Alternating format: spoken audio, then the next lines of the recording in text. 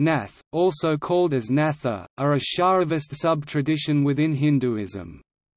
A medieval movement, it combined ideas from Buddhism, Shaivism and Yoga traditions in India.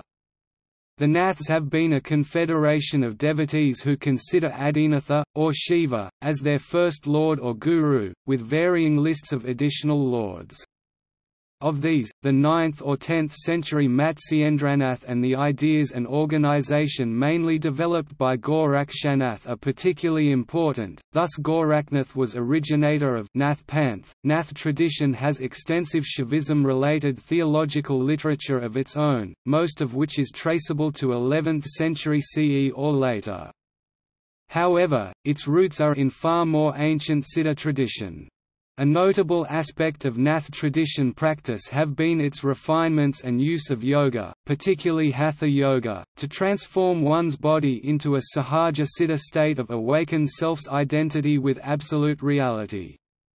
An accomplished guru, that is yoga and spiritual guide, is considered essential, and they have historically been known for their esoteric and heterodox practices. Their unconventional ways challenged all orthodox premises, exploring dark and shunned practices of society as a means to understanding theology and gaining inner powers. They formed monastic organizations, itinerant groups that walked great distances to sacred sites and festivals such as the Kumbh Mela as a part of their spiritual practice.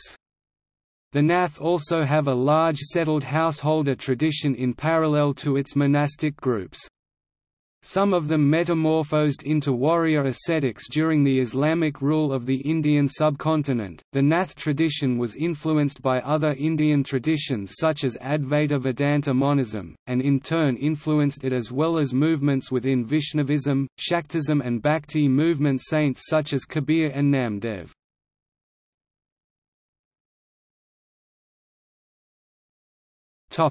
Etymology and nomenclature The Sanskrit word natha natha literally means, Lord, Protector, Master. The related Sanskrit term Adi Natha means first or original Lord, and is a synonym for Shiva, the founder of the Nathas. Initiation into the Natha Sampradaya includes receiving a name ending in Nath. The term Nath is a neologism for the Shaivism tradition now known by that name. Before the 18th century they were called jogi or yogi. However, during the colonial rule, the term, yogi, jogi, was used with derision and classified by British India census as a low-status caste. In the 20th century, the community began to use the alternate term nath instead in their public relations, while continuing to use their historical term of yogi or jogi to refer to each other within the community. The term nath or natha, with the meaning of lord, is a term also found in Vaishnavism e.g. Gopinath, Jagannath, and in Jainism, Adinatha, Parsvanatha. The term yogi or jogi is not limited to Natha subtradition, and has been widely used in Indian culture for anyone who is routinely devoted to yoga. Some memoirs by travelers such as those by the Italian traveller Varthema refer to the Nath Yogi people they met, phonetically as Ios.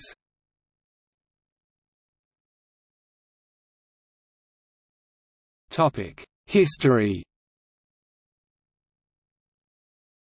Nath are a sub-tradition within Shaivism, who trace their lineage to nine Nath gurus, starting with Shiva as the first, or Adinatha. The list of the remaining eight is somewhat inconsistent between the regions Nath Sampradaya is found, but typically consists of c. 9th century Matsyendranathar and c. 12th century Gorakshanathar along with six more. The other six vary between Buddhist texts such as Abhayadatashri, and Hindu texts such as Varnaratnakara and Hathapradipika. The most common remaining Nath gurus include Kaurangi, Sarangadara, Puran Bhagat, Jalandhara, Balnath, Hadipa, Karpatha, Kanhapa, Nagarjuna, and Bhartrhari. The Nath tradition was not a new movement, but one evolutionary phase of a very old Siddha tradition of India. The Siddha tradition explored yoga, with the premise that human existence is a psychochemical process that can be perfected by a right combination of psychological, alchemy and physical techniques, thereby empowering one to a state of highest spirituality, living in prime condition ad libitum, and dying when one so desires into a calm, blissful transcendental state. The term siddha means, perfect and this premise was not limited to Siddha tradition but was shared by others such as the Rasayana school of Ayurveda.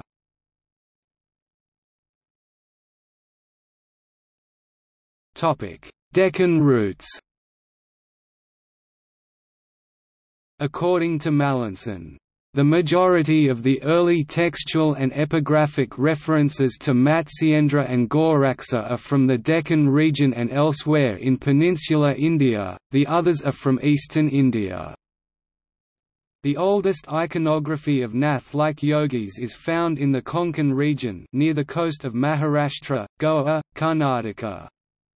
The Vijayanagara Empire artworks include them, as do texts from a region now known as Maharashtra, northern Karnataka and Kerala. The Chinese traveller, named Ma Huan, visited a part of the western coast of India, wrote a memoir, and he mentions the Nath yogis. The oldest texts of the Nath tradition that describe pilgrimage sites include predominantly sites in the Deccan region and the eastern states of India, with hardly any mention of North, Northwest or South India. This community also can be found in some parts of Rajasthan but these are normal like other castes, considered as other Bluv caste OBC. Gorakshanath is traditionally credited with founding the tradition of renunciate ascetics, but the earliest textual references about the Nath ascetic order as an organized entity that have survived into the modern era, are from the 17th century. Before the 17th century, while a mention of the Nath Sampradaya as a monastic institution is missing, extensive isolated mentions about the Nath Shaiva people are found in inscriptions, texts and temple iconography from earlier centuries.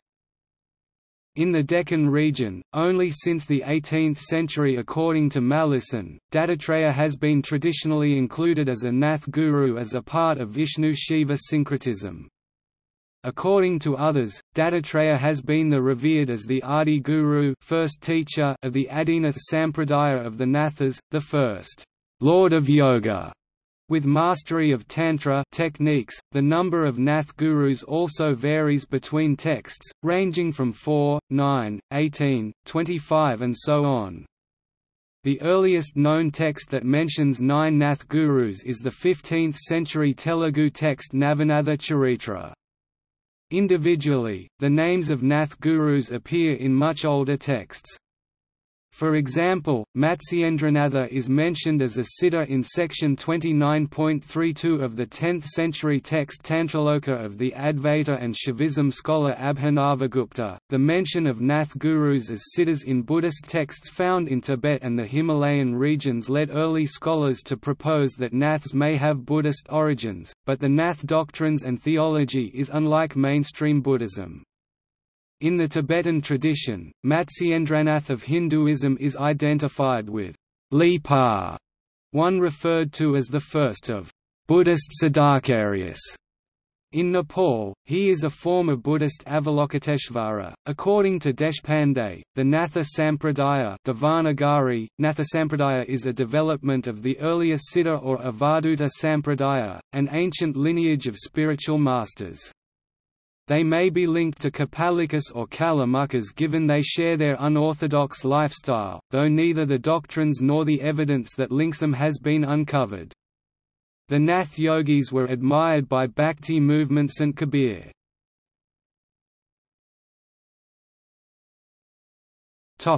Natha Panthis The Nath Sampradaya is traditionally divided into twelve streams or panths. According to David Gordon White, these panths were not really a subdivision of a monolithic order, but rather an amalgamation of separate groups descended from either Matsyendranath, Gorakshanath or one of their students.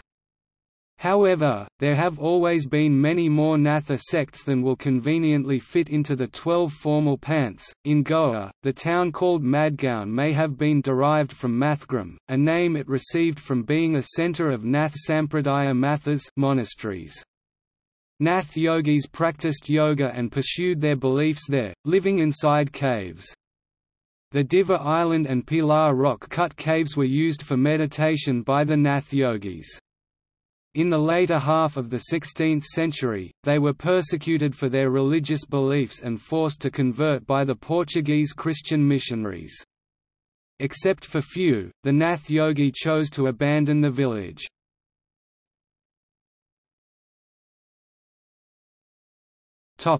Contemporary Natha lineages The Inchegeri Sampradaya, also known as Nimbagi Sampradaya, is a lineage of Hindu Navnath c. q. Lingayat teachers from Maharashtra which was started by Sri Bhausaheb Maharaj. It is inspired by Dashasthar Brahman Sant Mat teachers as Dnyaneshwar, Eknath and Samarth Ramdas. The Inchegeri Sampraday has become well known throughout the Western world due to the popularity of Sri Nisargadatta Maharaj.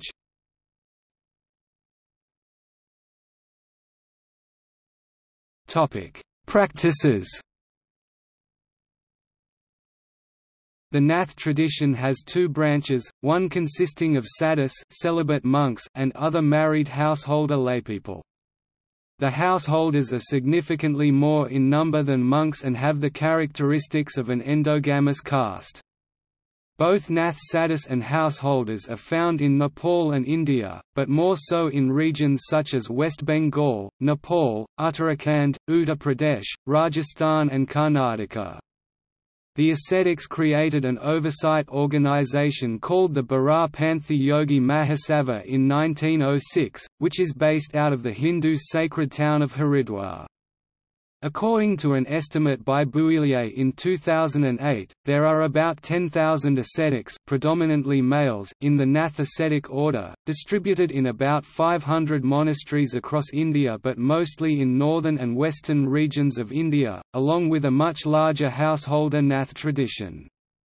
The oldest known monastery of the Naths that continues to be in use, is near Mangalore, in Karnataka. This monastery houses Shiva iconography as well as three Buddhist bronzes from the 10th century. A notable feature of the monks is that most of them are itinerant, moving from one monastery or location to another, never staying in the same place for long. Many form a floating group of wanderers, where they participate in festivals together, share work and thus form a collective identity. They gather in certain places cyclically, particularly on festivals such as Navratri, Maha Shivaratri and Kumbh Mela. Many walk very long distances over a period of months from one sacred location to another, across India. In their spiritual pursuits, the Nath monks wear loin cloths and dhotis, little else. Typically they also cover themselves with ashes, tie up their hair in dreadlocks, and when they stop walking, they keep a sacred fire called dhuni. These ritual dressing, covering body with ash, and the body art are, however, uncommon with the householders. Both the Nath monks and householders wear a woolen thread around their necks with a small horn, rudraksha bead and a ring attached to the thread. This is called Singnad Jainu. The small horn is important to their religious practice, is blown during certain festivals, rituals and before they eat. Many Nath monks and a few householders also wear notable earrings. According to James Mallinson, the ritual covering of ash, necklace, and tripundra tilaka was likely missing in the past, and it may have emerged in the modern era. Those Nath ascetics who do tantra, include smoking bhang cannabis as a part of their practice. The tradition is traditionally known for Hatha Yoga and Tantra, but in contemporary times, the assiduous practice of Hatha Yoga and Tantra is uncommon among the Naths. In some monasteries, the ritual worship is to goddesses and to their gurus such as Adinatha Shiva, Matsyendranatha and Gorakshanatha, particularly through bhajan and kirtans. They greet each other with adis pronounced Adis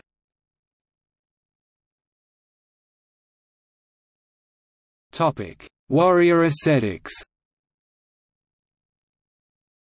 The yogis and Shaiva sampradayas such as Nath metamorphosed into a warrior ascetic group in the late medieval era, with one group calling itself Sastradharas keepers of scriptures and the other Astradharas keepers of weapons.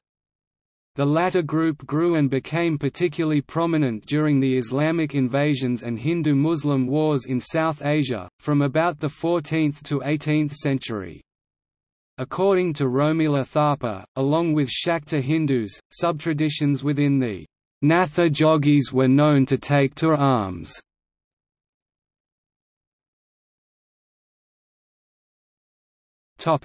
Gurus, siddhas, naths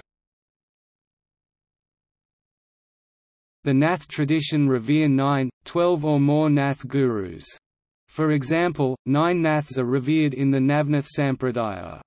The most revered teachers across its various sub-traditions are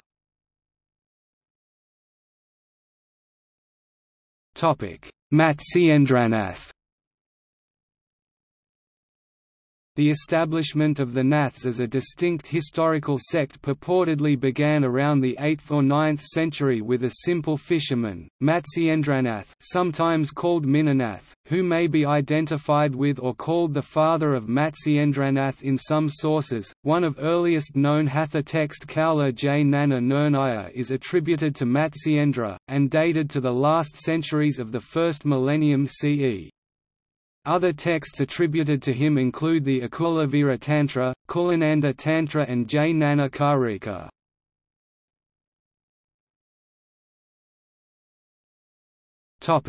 Gorakshanath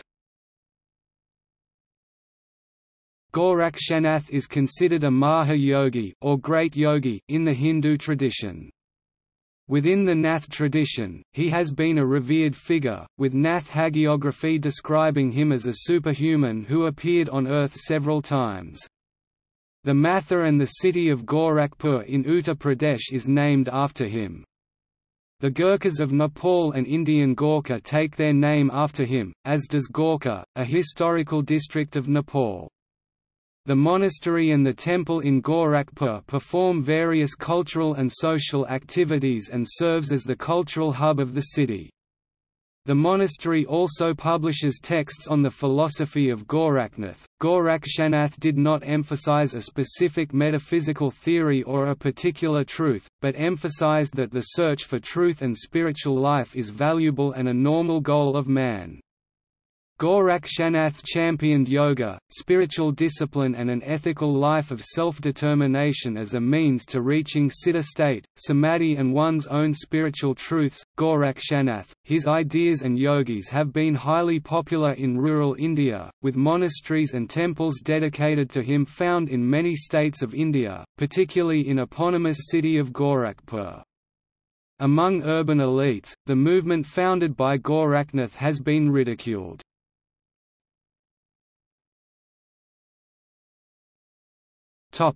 The aims of the Nathas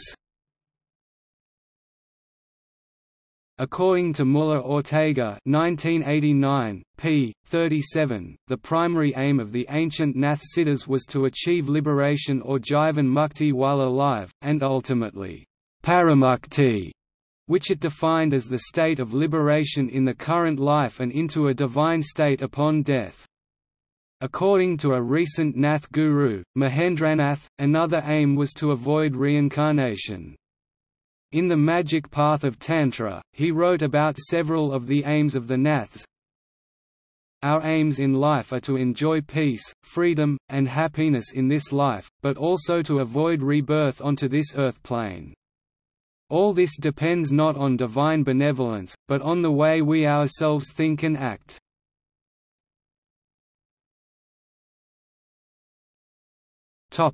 Hatha Yoga The earliest texts on Hatha Yoga of the Naths, such as Vivekamartanda and Gorakshasataka, are from Maharashtra, and these manuscripts are likely from the 13th century. These Nath texts, however, have an overlap with the 13th-century Jnanadeva commentary on the Hindu scripture Bhagavata Gita, called the Jnaneshvari. This may be because of mutual influence, as both the texts integrate the teachings of Yoga and Vedanta schools of Hinduism in a similar way. Numerous technical treatises in the Hindu tradition, composed in Sanskrit about Hatha Yoga, are attributed to Gorakshanath.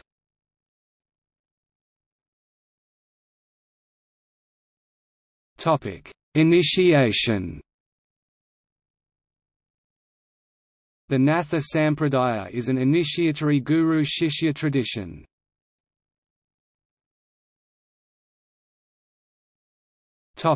Influence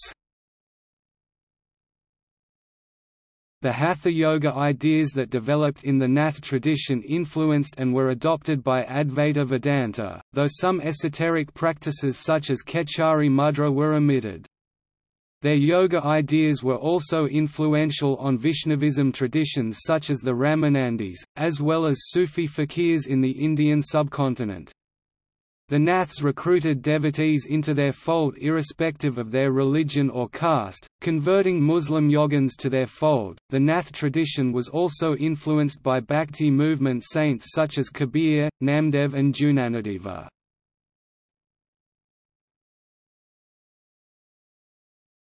Topic. See also Guranath Sahaja Samaveda Samarasa Sampradaya Svekachara Adinath Sampradaya Nandinatha Sampradaya Luipa Baba Balak Nath Satguru Sivaya Subramanya Swami, a past guru of the Nandinatha Sampradaya. Sri Madhavnath Maharaj (1857–1936). Adityanath, the abbot of the Goraknath Math. Bodhinatha Veylanswami, Sannyasin and Satguru of the Nandinatha Sampradaya.